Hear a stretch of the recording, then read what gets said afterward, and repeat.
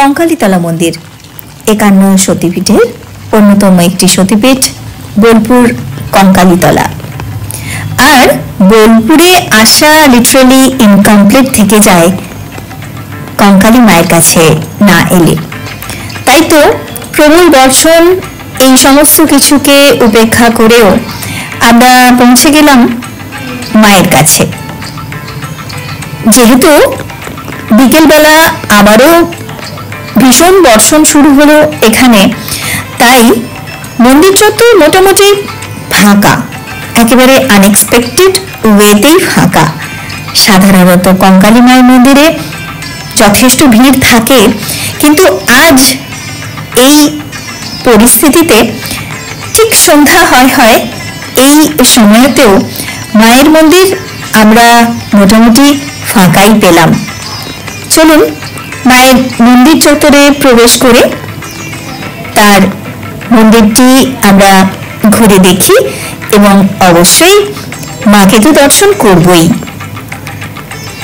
বৃষ্টি পড়ছে আর এখানে মায়ের মন্দিরে ওঠার আগেই আমরা পৌঁছে যাব যেখানে মায়ের কাঁখালটি সংরক্ষিত রয়েছে। এই পবিত্র কুণ্ডে।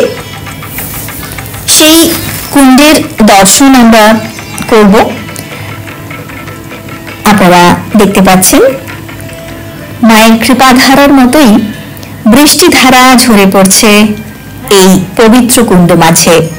আমাদের সকলের মাথাতে এইভাবেই মায়ের আশিস সদা সর্বদা ঝরে পড়ুক। এই প্রার্থনাই মায়ের রাতুল চরণে। যেহেতু বৃষ্টি, তাই মায়ের এই মন্দির প্রাঙ্গণে যারা থাকেন, তারাও মায়ের কাছে আশ্রয় নিয়েছেন আজ তার নাট মন্দিরে।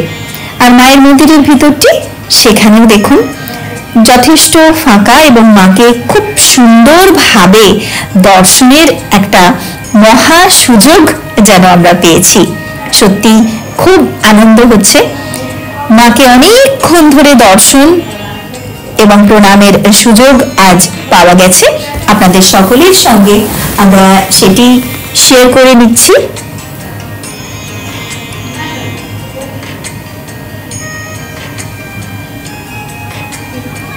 ওখানে মায়ের যে চাতাল, সেখানে যারা বাইরে সর্বদা থাকেন, তারা এখন আশ্রয় নিয়েছেন বৃষ্টি থেকে বাঁচতে। আর এই হচ্ছে সেই কল্প বৃক্ষটি, যেখানে বিশ্বাস করা হয় মন থেকে আন্তরিকভাবে মায়ের কাছে কিছু প্রার্থনা করলে এবং এখানে সকলেই এই সুতো ঢিল ইত্যাদি বেঁধে যান। নিশ্চয়ই তাদের মনোবাঞ্ছা পূর্ণ হয়, তাই তো? বছরের পর বছর একইভাবে লাল সুতো ঢিল বাঁধা অবস্থায় আমরা দেখতে পাই, এগুলি তো আসলে সুতো বা ঢিল নয়, মানুষের বিশ্বাস।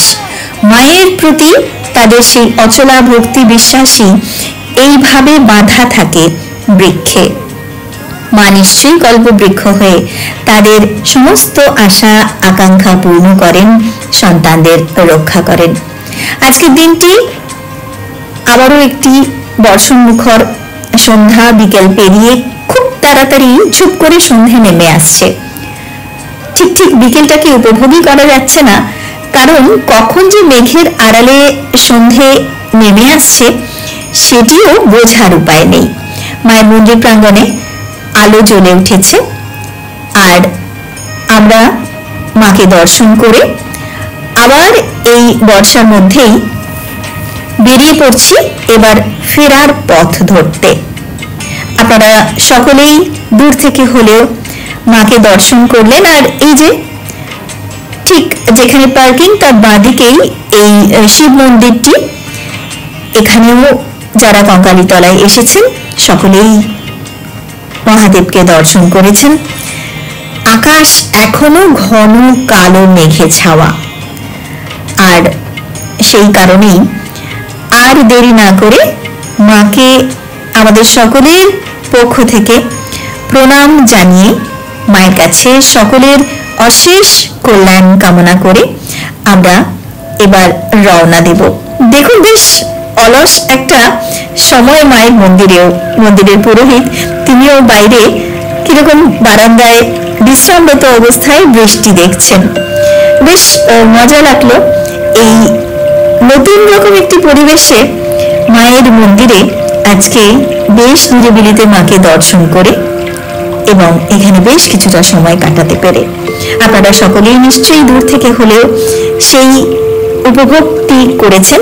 মায়ের কৃপায় সকলে খুব ভালো থাকুন, সুস্থ থাকুন, আনন্দে থাকুন, আর এভাবেই সঙ্গে থাকুন।